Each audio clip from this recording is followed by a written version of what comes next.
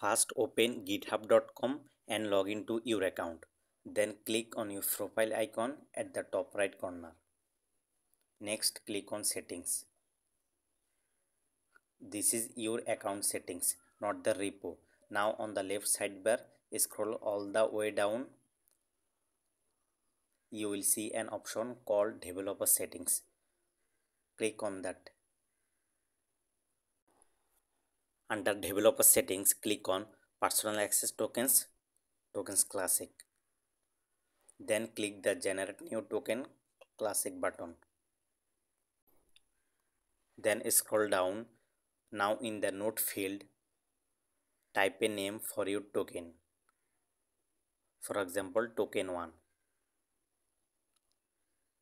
Next under expiration, you can choose either custom days or no expiration as you wish.